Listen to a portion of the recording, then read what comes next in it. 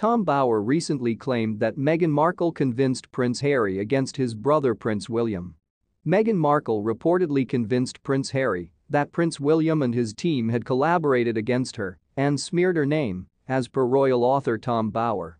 Bower's claims came during a recent chat with OK magazine about his new bombshell book Revenge, Meghan, Harry and the War Between the Windsors that is full of explosive remarks and claims about Meghan and Harry.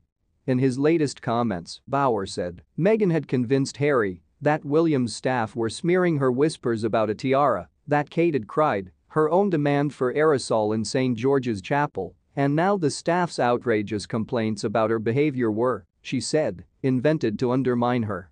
He also claimed that it is now too late for Prince Harry and Prince William to reconcile, especially because of Meghan's tendency to victimize herself.